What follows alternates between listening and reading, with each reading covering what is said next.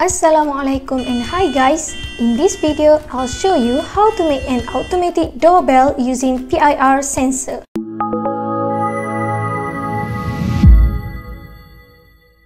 The components needed are passive infrared PIR sensor module, jumper wire, maker uno and micro USB cable. Use the jumper wire to connect the PIR sensor module to the maker uno. Next, upload the codes and power it up.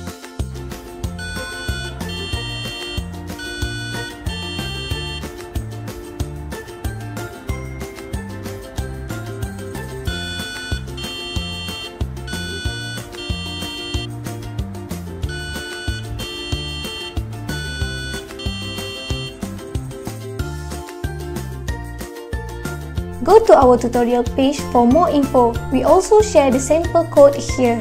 Thank you for watching.